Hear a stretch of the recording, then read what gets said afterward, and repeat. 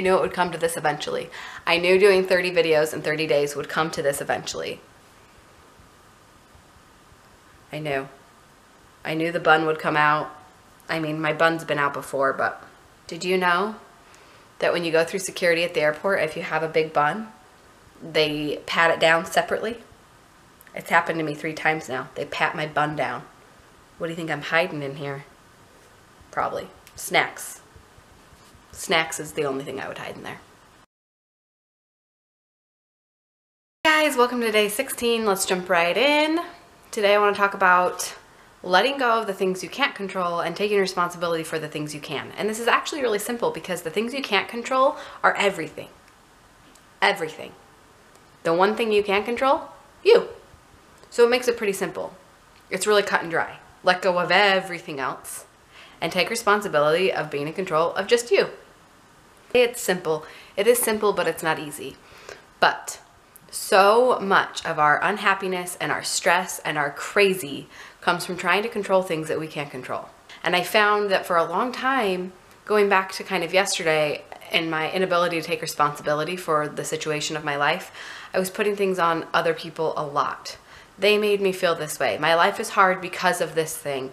I act this way because of this. I can't do that because of this. When all of those things, they might have even been valid, but it doesn't really matter if they were valid because I can't control those. I found such a burden was taken off my mind when I just let it go.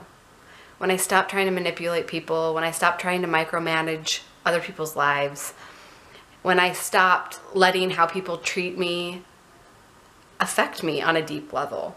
Bottom line is, there are sucky people in the world that do sucky things every single day, but you can't change them. You can only change you. There are bad things that happen to you every single day. There are outcomes in life that don't go your way, but you can't change that. All you can change is you. It's hard for me to learn. Can't control anything but yourself. So it doesn't matter how justified the circumstances are, none of that matters because all you can control is you.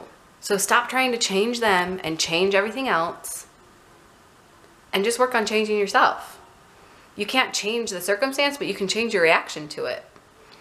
You can't change what happens sometimes, but you can change how you handle it. You can't change your life circumstances all the time, but you can change how you view them. You get the trend here? This is huge if you struggle with anxiety of any kind. Um, this is also really big in self-acceptance in letting go of trying to control how other people think of you or how other people see you.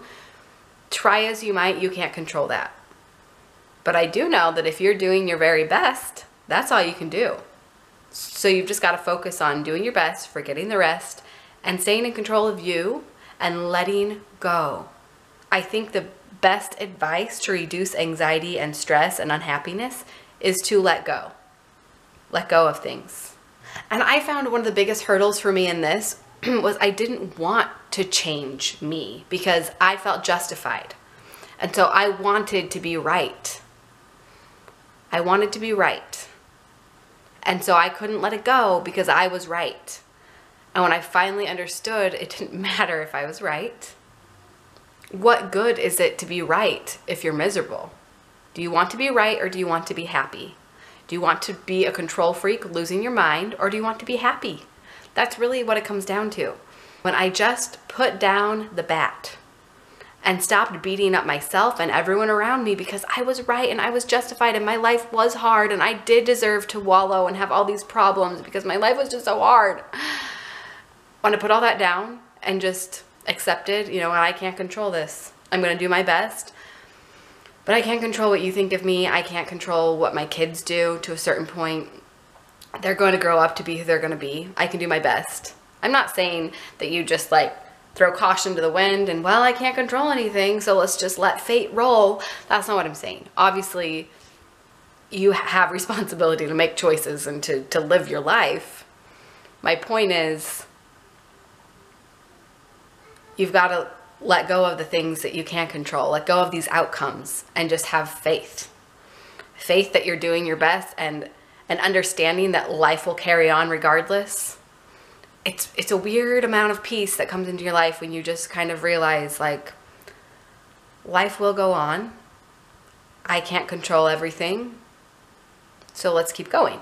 I feel like I'm all over the place today with this, but it's because this applies to so many different facets and this um, the basis of this control problem was the root of a lot of my problems. And so it fits into a lot of different areas but overall learning to let go of the things you can't control and accepting responsibility for the thing you can control which is yourself your reactions your behavior you.